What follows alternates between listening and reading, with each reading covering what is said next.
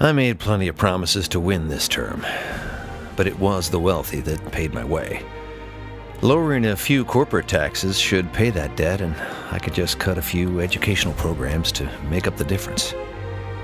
I won over the commuters and Greens by pushing for public transportation and banning GM crops. This may incense the farmers, but they've had it out for me since cutting their subsidies. The middle class keep protesting about income tax and unemployment, but how do they expect me to invest in schools, hospitals, and law enforcement if they aren't willing to pay their taxes?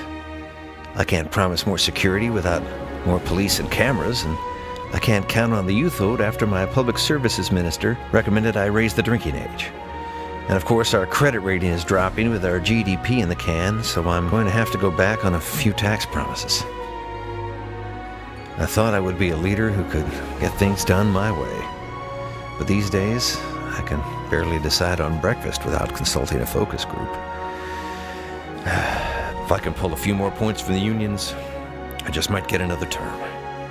If not, well, that's democracy.